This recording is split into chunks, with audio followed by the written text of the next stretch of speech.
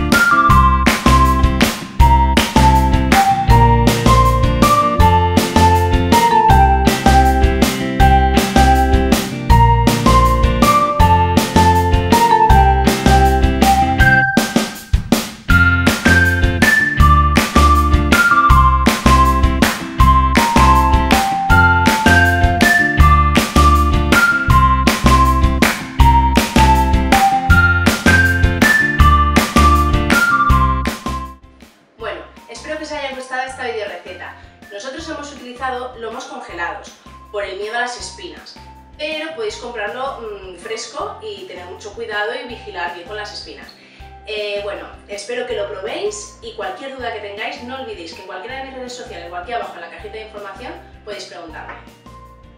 No olvidéis suscribiros al canal, dar la campanita para que os notifique cada vez que subo un vídeo y darle a like si os ha gustado. También podéis compartirlo con todos aquellos que creéis que le puedan ser de gran ayuda. Y recordad, la vida y los niños son una montaña de emociones. Hasta pronto, montañeros.